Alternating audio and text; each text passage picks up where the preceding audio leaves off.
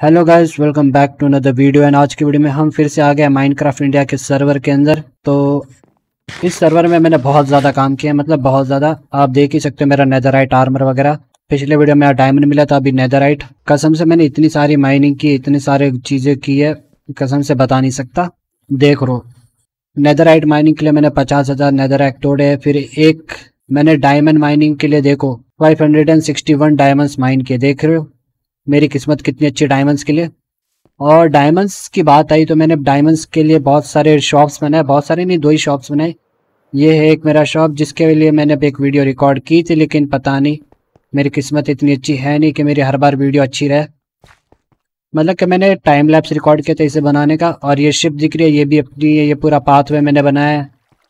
बहुत मेहनत लगा है लेकिन बनाया मैंने। और पूरा मैंने ये माउंटेन्स भी मैंने टेराफॉर्म किया इस सब की मैंने पूरे टाइम लैप्स बना के रखे, लेकिन टाइम लैप्स में जब खोल के देखता हूँ, पूरा ब्लैंक था। बड़ी किस्मत ख़राब थी मेरी कसम से उस दिन। लेकिन बहुत मेहनत की मैंने इस वीडियो के लिए। और मैंने थोड़ी बहुत और चीज़ें भी की है। मेरे पास अभी सिर्फ़ दो टाइम लैप्स पता है जो मैं आपको बताऊँगा। सबसे पहला टाइम लैप्स है ये वाला।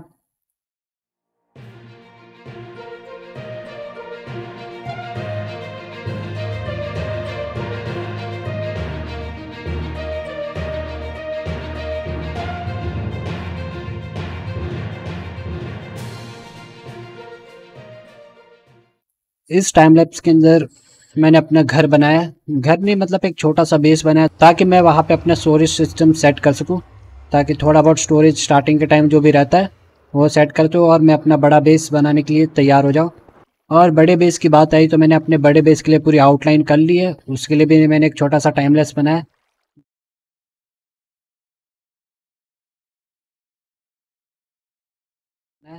जो भी मेरे को अच्छे से यूज़ करना आता नहीं तो थोड़ा बेकार ही होगा। और मैंने सर्वर के अंदर बहुत ज़्यादा काम भी किया, जैसे कुछ ग्राइंडिंग का काम किया। एक एरेगनॉट करके हमारे सर्वर के अंदर एक है अंबानी, उसके लिए भी मैंने काम किया है। ये दिख रहे सोल सॉइल दस हज़ार। ये सोच रहे हो गए दस हज़ार सोल सॉइल की मेरे को क्या ज़रूरत थी? तो ये मुझे ज़रूरत थी एरेगनॉट की थी, और उसमें मैंने ये सब जाके जमा करके दिया है। और उसके बदले में मेरे को थर्टी सिक्स डायमंड्स ब्लॉक मिला एक सेकेंड में अपनी मेरी पैसे वाली चेस्ट किधर है? ये रही मेरे पैसे वाली चेस्ट इतने सारी मेरी प्रॉफिट हो चुकी है। इतने डायमंड्स की प्रॉफिट हो चुकी है। और मैंने एक वीडियो पूरी रिकॉर्ड करके रखता पता नहीं क्या ग्लिच आ रहा है मेरे, पता नहीं ओबीएस वगैरह में, जो मेरी बार बार रिकॉर्डिंग बहुत ज़्यादा करप्ट हो रही है आजकल। तो मैं फटाफट मेरे को सेटिंग चेंज करनी पड़ेगी यार, वरना ऐसे चलता रहा तो फिर मेरे भी दिमाग ख़राब होने वाला है। और ये रही मेरी शॉप जहाँ पे हम अपना ट्रेजर हंटिंग का काम करते हैं। मतलब मैं इसके अंदर एक डायमंड डालूँगा, इसके अंदर मेरे को एक शवल मिलेगी। उस शवल को मैं एक जगह लेके जाऊँगा। एक जगह नहीं मतलब इधर पास में है वो देख रहे हो, वो जगह। वहाँ पे हम माइनिंग करेंगे। मतलब शवल आधी से ज़्यादा डैमेज ही होगी। और आपकी किस्मत के ऊपर है कि आपकी अच्छी शवल मिलेगी या बुरी। तो यहाँ पे तो अभी हम दूसरा वाला ट्रेजर हंट शुरू कर रहे हैं। पहला वाला ख़त्म हो चुका है। दूसरे वाले के अंदर हमें फिर से हम टेराफॉर्म करके अच्छी जगह बनाएँगे। तो यहाँ पे हम लोग फिर से ट्रेजर हंट शुरू करेंगे। जो भी शवल होगी हमें इससे खोदना है, हमारी किस्मत अच्छी हुई तो हमें कुछ मिल जाएगा। और नहीं हुई तो नहीं मिलेगा। और क्या? तो यही था अभी तक। तो गैस मैं अभी अपनी शॉप के बारे में बता देता हूँ। ये शॉप है मेरी ट्रेजर हंट की, जिसके बारे में अभी मैंने बताया। और दूसरी शॉप क्या है? मैंने दो शॉप क्यों रखी? तो दूसरी शॉप के अंदर मैं ऐसी चीज़ें रखूँगा जिसमें लोग बहुत ज़्यादा परेशान होते हैं मतलब ग्राइंडी स्टफ़ जैसे सैंड हो गई ग्रेवल हो गई, ऐसी चीज़ें जिसे लोगों के पास में ही होती लेकिन वो बहुत ज़्यादा बोर होते उसे जमा करने के लिए। जैसे मैंने इतनी सारी ग्रेवल जमा करके रखी, इतने सारे और और सैंड और ये भी शल कर, पूरा भर के सैंड और ऊपर भी मेरे को और चीज़ें भरनी है, ऊपर भी है।